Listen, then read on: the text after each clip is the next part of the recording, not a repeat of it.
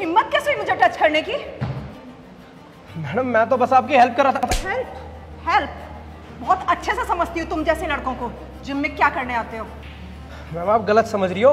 मैं बस आपकी हेल्प कर रहा था। सब सही समझ रही हूँ। और अब समझेगा तू जब तेरी पुलिस कंप्लेंट होगी। सारी हेकड़ी दो मिनट में निकल जाएगी तेरी। अरे क्या हुआ मैम? क्या हुआ? ये लड़का मुझे गलत तरीके से टच कर रहा है। हाँ भाई जिम में ये करने आता तू? नहीं भाई ये गलत समझ रही है। मैं बस हेल्प कर रहा था इनकी। हेल्प नहीं कर रहा था गलत टच कर रहा था। सब समझ आता है मुझे। और अब पुलिस कंप्लेंट होगी तेरी तो ही समझेगा तू। अरे मैडम रहने दो। पुलिस कंप्लेंट मत करो इसको हम समझा देंगे। आगे से कुछ ऐसा होगा तो मैं खुद इसके नाम भी पुलिस कंप्लेंट करूँगा। इस बार छोड़ रहे हैं तुझे। और अगली बार कुछ किया ना तो पुलिस कंप्लेंट मैं करूँगी तेरा। सुन रहे यहाँ जिम करने आता है। जिम किया कर। लोंडिया बात जीनी ये फ़र्स्ट और लास्ट वार्निंग है ध्यान रखियो। आगे से नहीं बोलूँगा।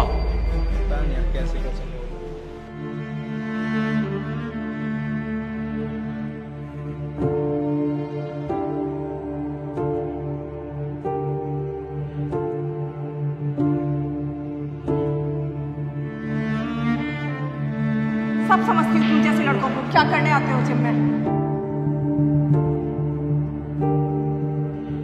यहाँ जिम करने आता है। जिम किया कर। लोंडिया बात जीनी ये फ़र्स्ट और लास्ट वार्निंग है ध्यान रखियो।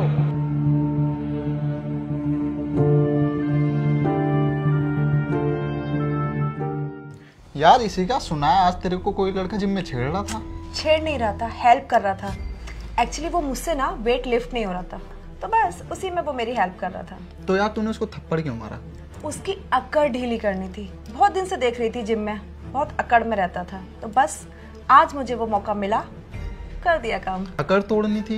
यार तूने सबके सामने उसको थप्पड़ मारा। उसकी क्या इज़्ज़त रह गई? ज़्यादा ज्ञान मत दे। चुप रह।